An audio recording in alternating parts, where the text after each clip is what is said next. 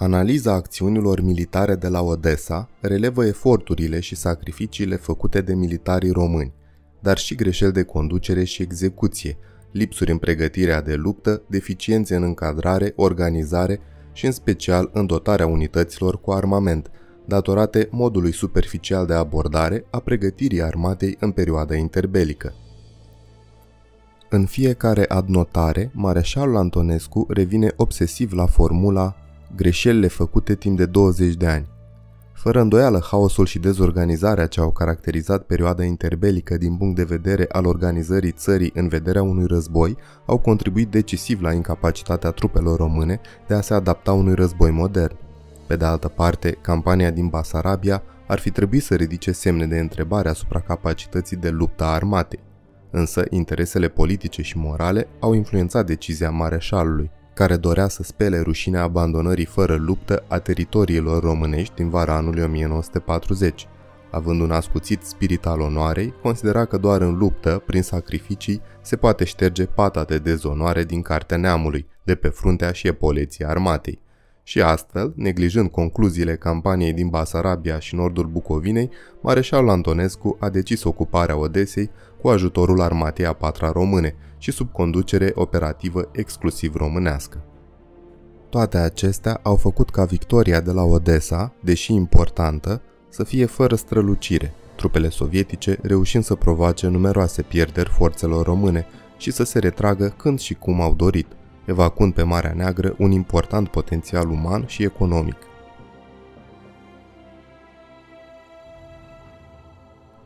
Urmărind menținerea integrității, independenței și suveranității statului național, România a promovat în perioada interbelică o politică de pace și prietenie cu statele vecine. Și totuși, presiunile și amenințările statelor revizioniste la adresa integrității sale teritoriale aveau să se intensifice, în special după ce Germania a declanșat procesul de pătrundere spre centrul și estul Europei, ocupând Austria, Cehoslovacia și Polonia – și având încheiat din august 1939 un pact de neagresiune cu Uniunea Sovietică, al cărui protocol secret menționa la articolul 3 interesul Uniunii Sovietice pentru Basarabia.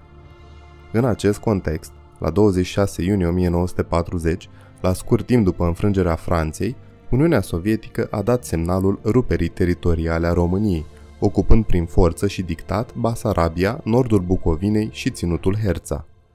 În afara pierderilor teritoriale, umane și materiale, ocuparea Basarabiei și a părții de nord a Bucovinei a afectat capacitatea de apărare a României, după depășirea aliniamentului natural al Nistrului, trupele sovietice ajungând în nord, în Carpații Orientali, și în sud, la gurile Dunării, astfel la doar circa 200 de kilometri de zona petroliferă a României. Astfel, chiar și după cedările teritoriale, pericolul la noua graniță estică a României s-a menținut, în ciuda garanțiilor acordate de Germania și Italia, în contextul în care, după ce au depășit linia de demarcație stabilită, ocupând și regiunea Herța neinclusă în notele ultimative, trupele sovietice au încercat să pună stăpânire și pe alte puncte strategice, la vest de Prut și în delta Dunării. Dată fiind această situație, după preluarea puterii în stat la 6 septembrie 1940, generalul Ion Antonescu a acceptat sosirea în țară a misiunii militare și a trupelor germane, a decis aderarea țării la pactul tripartit și a făcut cunoscut că va merge 100% până la moarte alături de axă. Apoi, la 22 iunie 1941, când Germania a atacat Uniunea Sovietică, tot Ion Antonescu și-a asumat responsabilitatea angajării țării în război, cerând militarilor români să readucă între hotarele naționale glia străbună a Basarabiei și codrii voievodali ai Bucovinei. În timpul eliberării părții de nord a Bucovinei și a Basarabiei, trupele române au trecut succesiv Nistrul, începând cu 17 iulie 1941, desfășurând în cooperare cu cele germane ample operații militare până la Nipru și în zona Odessa. După eliberarea părții de sud a Basarabiei, armata 4 română a desfășurat între 8 august și 16 octombrie 1941 operația ofensivă de la Odessa. Importanța acesteia a fost determinată de poziția strategică a orașului, portului și zonei Odessa în ansamblul dispozitivului de luptă de la flancul sudic al frontului germano-sovietic, în imediată apropiere a spațiului de securitate al României, unde inamicul dispunea de peste 100.000 de militari, 1000 de avioane și de majoritatea flotei de război și comercială din Marea Neagră.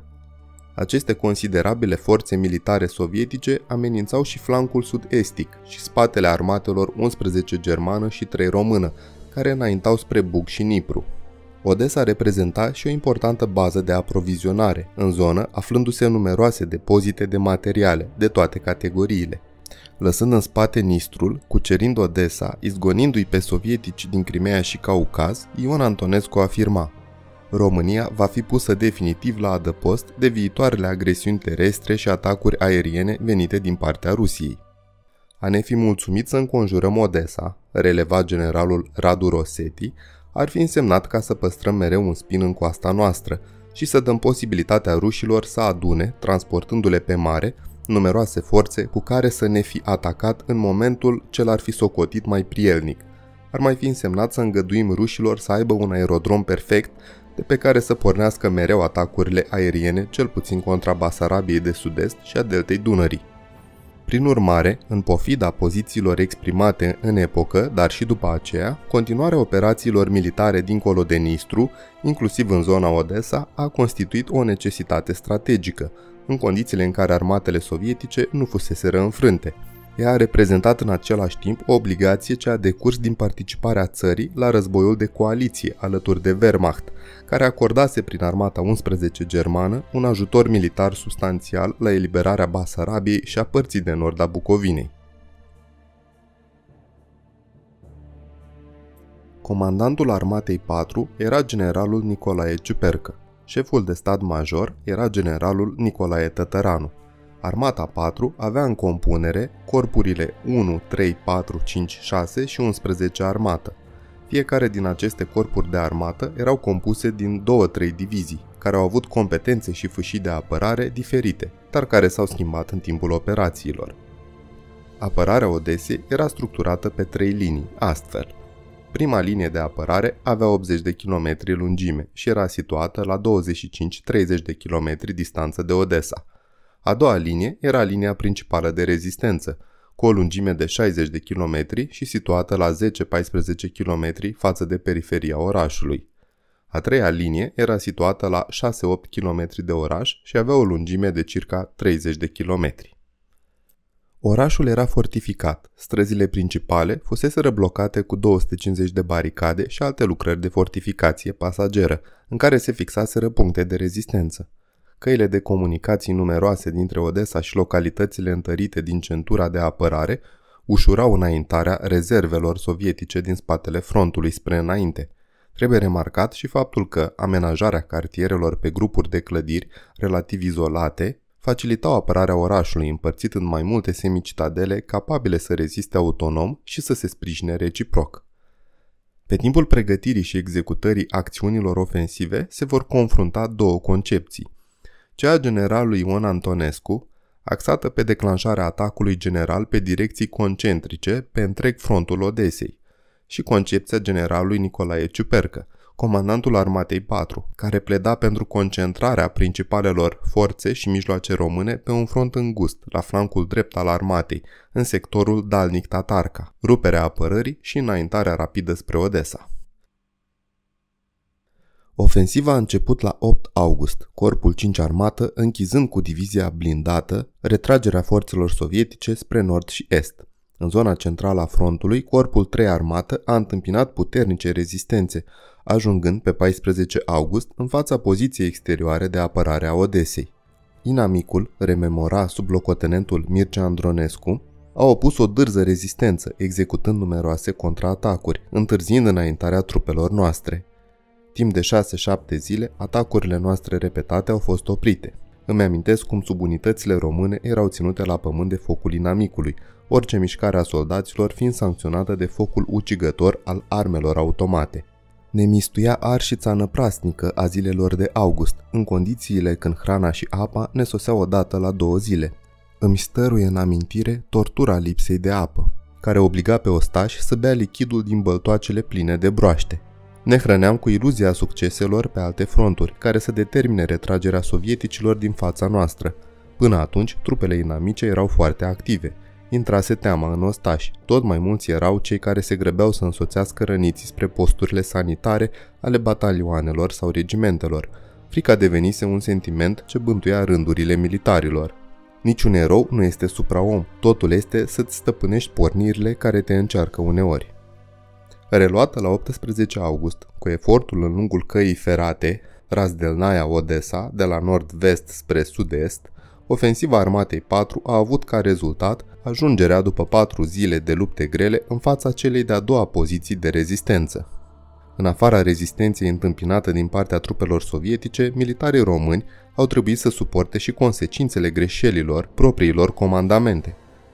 Nu știu a cui a fost ideea să se treacă la ofensivă fără pregătire de artilerie, rememora majorul Ion Mailat, însă consider că a fost o greșeală, surpriza nu știu dacă a fost realizată. În schimb, rezistențele inamice nu au fost temeinic neutralizate înainte de începerea atacului.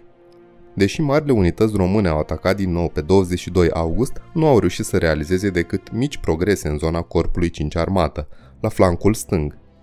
Ca dezvoltare a ofensivei declanșată la 18 august, Corpul 1 Armată va lovi pe 23 august în sectorul Dalnic-Tatarca cu două divizii în linia 1 și una în rezervă. Corpul 3 Armată va acționa pe flanc, iar Corpul 5 va opera spre sud cu accent la flancul stâng dar, constatând că trupele sunt obosite și neaprovizionate cu armament și muniții, Marele cartier general ordonă la 24 august încetarea temporară a ofensivei în sectoarele corpurilor 3 și 1 armată, dar menține misiunile anterioare pentru corpul 5. Pe 25 august, Marele cartier general aduce o schimbare la planul inițial. Se considera că inamicul demoralizat deja face ultimele eforturi pentru apărarea Odesei, Astfel, pentru a-i se aplica lovitura decisivă, Armata 4 trebuia să rea ofensiva în ziua de 28 august cu efortul pe flancuri, susținută de două grupări de artilerie la flancuri. Astfel, Corpul 11 Armată va ataca la dreapta, Corpul 1 Armată la stânga Corpului 11, Corpul 4, cu diviziile 5 și 6, sprijinite de 10 divizioane artilerie, pe direcția în lungul căii ferate Tiraspol-Odessa. Corpul 5 armată își va păstra misiunile anterioare, iar Corpul 3 se va retrage în rezervă. Generalul Ciupercă nu era de acord cu privire la direcția de efort a Corpului 11. Ciupercă fixase deja atacul Corpului 11 pe direcția Tatarca, la sud de Dalnic, deoarece observase o spărtură în dispozitivul sovietic. De asemenea, generalul atrăgea atenția că deoarece nu s-a obținut supremația aerului pe frontul armatei, Corpul 5 fusese sistematic lovit de avioanele sovietice, dar marele cartier general rămânea pe pozițiile sale. Trecând la ofensivă, pe 28 august, trupele române au reușit, în urma introducerii în luptă pe 1 septembrie și a Corpului 3 armată, să respingă până la 6 septembrie forțele sovietice pe poziția principală de apărare a inamicului. Prin lupte grele, Divizia 8 Infanterie a cucerit pe 8 septembrie înălțimea cu cota 67 din fața localității Tatarca, creând condiții favorabile manevrării flancului vestic al dispozitivului inamic de la Odessa. Percepând pericolul, trupele sovietice au contraatacat puternic la 9 septembrie, respingând forțele române peste 10 km și încercuind două batalioane care au rezistat eroic două zile până au realizat din nou legătura cu celelalte subunități ale diviziei. Rezultatele nu au mulțumit detașamentele de legătură germane, care raportau corect că nu s-a ajuns la un atac unitar. Nemulțumite au fost și comandamentele române, Ion Antonescu solicitând în final cu insistență intervenția aviației germane și trimiterea a cinci batalioane de pionieri. Conștient de importanța cuceririi Odesei, comandamentul german a dislocat în zonă noi forțe germane. Sub impresia atâtor săptămâni de eforturi neîntrerupte, Armata 4 acționând în această campanie de la 2 iulie 1941 și a sângeroaselor încleștări la care asistase la Odessa, generalul Nicolae Ciupercă a intervenit la Marele Cartier General, propunând acordarea unei pauze și modificarea planului operativ. Ciupercă a sugerat din nou că era nevoie de un atac decisiv într-o singură zonă și nu de atacuri pe tot frontul. a propus două variante.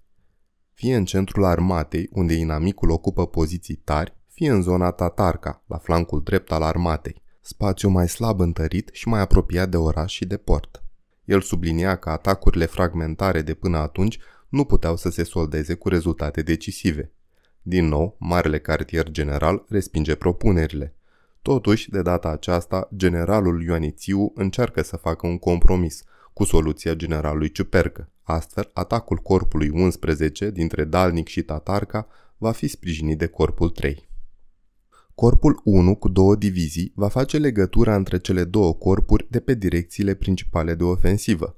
Corpul 4 se va afla în stânga corpului 3. Se va ataca cu toate corpurile de armată în linie și se va fragmenta artileria grea, împărțită între corpurile 11 și 3, spre deosebire de soluția generalului Ciupercă.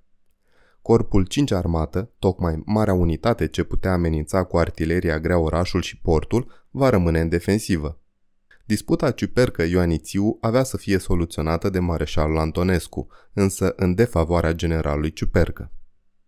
Între 18 august și 3 septembrie, România au pierdut peste 36.000 de oameni, morți, răniți și dispăruți, iar armata folosea o singură linie ferată de aprovizionare împreună cu germanii.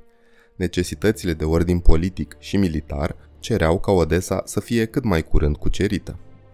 Partea germană se declara de acord să pună, începând cu 10 septembrie, la dispoziția celei române o divizie, un regiment, două batalioane de asalt, patru batalioane de pionieri și trei divizioane de artilerie grea. Astfel, se accepta repausul cerut de generalul Ciupercă până la data de 10 septembrie.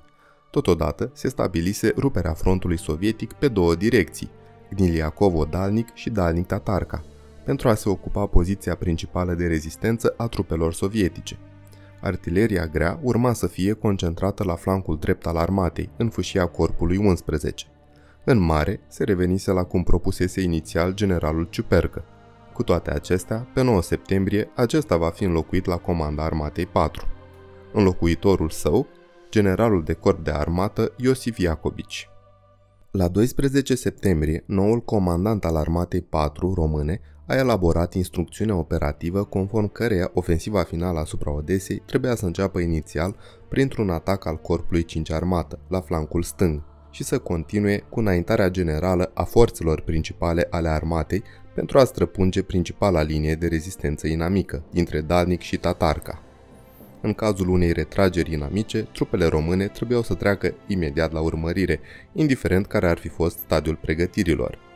Deși pe 14 septembrie generalul Iacobici informa că nu mai poate continua ofensiva pe front larg din cauza lipsei de muniție, Marele Cartier General insistă pentru declanșarea unui atac pe 17 septembrie, în speranța că trupele române vor străpunge linia dintre Dalnic și limanul Suhoi și în sectorul secundar Niliacovo.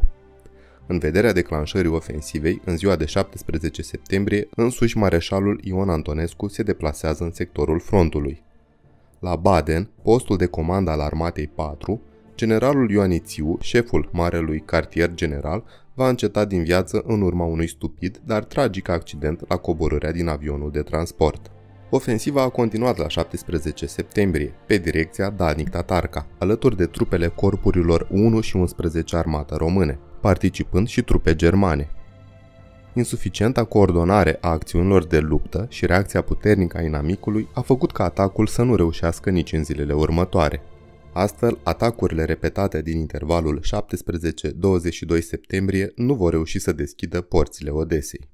Situația marilor unități de la flancul stâng al armatei 4 se agravează, o debarcare la est de corpul 5 și un atac violent în sectorul diviziei 13 au făcut ca întreg corpul 5 să cedeze teren într-un timp foarte scurt. Pe 22 septembrie, corpul 5 a fost nevoit să intervină cu rezervele sale, două batalioane, pentru a limita pătrunderea armatei roșii. Aviația trimisă în sprijin a bombardat navele și trupele debarcate și au doborât circa 15 avioane sovietice Rata și un avion de bombardament. Marele Cartier General și Armata 4 au efectuat o anchetă amănunțită cu privire la criza tactică de la Corpul 5. Astfel au rezultat. Corpul 4 nu respectase, pe 21-22 septembrie, ordinul Armatei 4 de a fixa inamicul, ignorându-l. Corpul 5, cu divizia 13 în dreapta și divizia 15 în stânga, luase ofensiva pe front larg, între limanul Cujalnic și Mare, cu toate că divizia 13 dispunea numai de 4 batalioane pe un sector de 10 km. În noaptea de 21-22 septembrie, armata sovietică a dezlănțuit prin surprindere o puternică pregătire de artilerie terestră și maritimă pentru a rupe frontul corpului 5 între diviziile 13 și 15 infanterie. Mobilizând rezerve și apelând la cooperarea aviației de asalt române și aliate și a infanteriei germane, divizia 15 a reluat sub control plajele. Este de reținut că sovieticii aruncaseră în luptă divizia 157 odihnită, împotriva diviziei 13. Divizia 157 era o mare unitate distinsă în Basarabia și Bucovina prin fapte de arme excepționale. Divizia 13 pierdea astfel 1300 de oameni și posibilitatea de a ține sub foc direct portul Odesei cu artileria grea din pozițiile sale vechi. După aceste evenimente, în zilele de 22-23 septembrie s-a hotărât abandonarea sau măcar amânarea atacurilor generale. De la 24 septembrie până la 1 octombrie, Armata 4 efectuează regruparea forțelor sale, păstrând terenul cucerit. La 2 octombrie, sovieticii, cu diviziile 157 și 25 infanterie, au executat un atac violent asupra centrului armatei 4, pătrunzând pe un sector de 4 km. Astfel, Corpul 3 Armată a considerat acum că se află într-o situație favorabilă pentru o ripostă decisivă și în acest scop s-a hotărât executarea unei manevre care să ducă la nimicirea Diviziei 157 Infanterie Sovietică. În acest scop, Corpul 3 a întrebuințat Divizia 21 Infanterie sub comanda generalului Nicolae Dăscălescu pentru a opri avansul sovieticilor. Grosul diviziei a lovit în flancul de nord al sovieticilor, Concomitent, Corpul 11 a atacat cu rezervele sale flancul stâng. Puternicele contraatacuri din noaptea de 3 spre 4 octombrie și din ziua de 4 octombrie ale trupelor diviziilor 21 și 7 au reușit să reducă pătrunderea sovieticilor și să restabilească situația inițială. Deși trupele sovietice continuau să opună o rezistență dârză, comandamentul sovietic a început să evacueze, cu vapoarele în principal, importante obiective industriale din oraș. Sesizând intențiile sovieticilor, comandamentul armatei 4 a cerut pe 15 octombrie corpurilor de armată să execute în dimineața zilei următoare atacuri locale pentru a verifica tăria inamicului, constatându-se că pretutindeni forțele sovietice opuneau doar slabe rezistențe, s-a ordonat continuarea înaintării și ocuparea imediată a orașului. Acționând într-un teren cu numeroase obstacole, trupele române au pătruns în după amiaza zilei de 16 octombrie 1941 în Odessa, lichidând ultimele rezistențe inamice. În unele locuri, intrarea în oraș s-a făcut prin lupte de stradă, după cum consemnează un document de epocă. Străzile sunt înfundate cu baricade apărate cu deznădejde de militari și civili. Peste tot sunt presărate numeroase curse și mine din care țâșnește moartea la fiecare pas. Bolșevicii, cea mai mare parte dezbrăcați, de uniforme, ascunși prin pivnițe și catacombe, continuă a lupta, trăgând prin ferestre și crenele și incendiază sau aruncă în aer clădiri imediat după ce soldații noștri pătrund în ele. Eliminarea prezenței militare sovietice din zona Odessa după 69 de zile de lupte grele, duse într-un teren fortificat, chiar dacă nu s-a obținut prin capitularea inamicului numeros, bine înzestrat și hotărât să reziste cu orice preț, a consolidat siguranța zonei petrolifere române și a eliminat posibilitățile de acțiune în spatele flancului drept al trupelor germane și române care acționau în zona Mării Azov și în partea de nord a Crimeei. Bătălia ofensivă de la Odessa, cea mai amplă pe care a desfășurat-o Armata 4 în timpul celui de-al doilea război mondial, a fost finalizată printr-o victorie importantă, dar lipsită de strălucire. La lupte au participat 340.000 de militari români, încadrați într-un comandament de armată, 6 comandamente de corp de armată, 22 de mari unități, introduse succesiv în bătălie, 47 de escadrile de aviație, 27 de baterii de artilerie antiaeriană și navele marinei militare, cărora li s-au adăugat trupe germane, un regiment de infanterie, 3 batalioane de asalt, 7 baterii de artilerie grea, o escadrilă și jumătate de aviație de bombardament. Victoria a fost obținută cu mari pierderi umane, 90.020 de militari morți, răniți și dispăruți. După victorie, în București și în numeroase orașe din țară au avut loc defilări, comandanții și-au decorat subordonații și i-au înaintat în grad. Regele Mihai a transmis salutul său cordial și a făcut cunoscut că ia parte cu tot sufletul la bucuria victoriei. Mareșalul Ion Antonescu a primit felicitări de la Führer și de la Benito Mussolini pentru victorie. La 8 noiembrie 1941, în cea de-a 139-a zi de război, la București au avut loc ample solemnități militare. Regele Mihai și mareșalul Ion Antonescu trecând în revistă trupele care au defilat apoi pe sub arcul de triumf. Pentru moment, românii au avut senzația că sfârșitul războiului era aproape.